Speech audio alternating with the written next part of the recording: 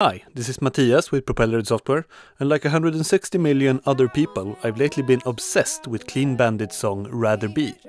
Since I really like the song, I thought I'd show you how to recreate the main synth sound in Reason. You know the one. There's no place I'd rather be. Let's start with a Thor synth and reset the patch. The basic sound of the song is just that, very very basic. And the most basic waveform is a sine wave, so let's start with that. Yeah, sounds about right.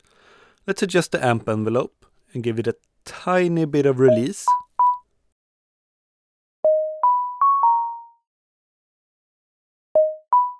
Making sure the sound rings out a bit after I let go of the key.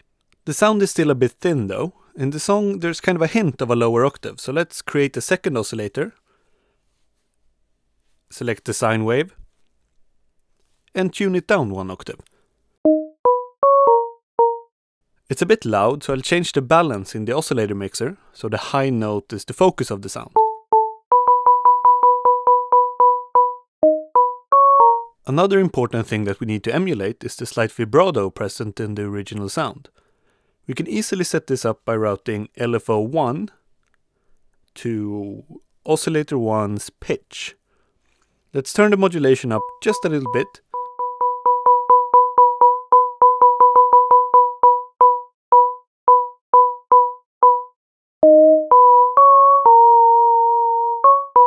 The pitch is now wobbling a little, giving the sound a lot of character.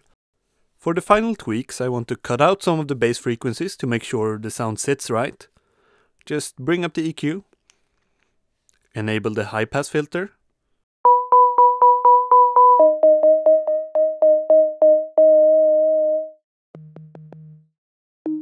and right about here sounds good.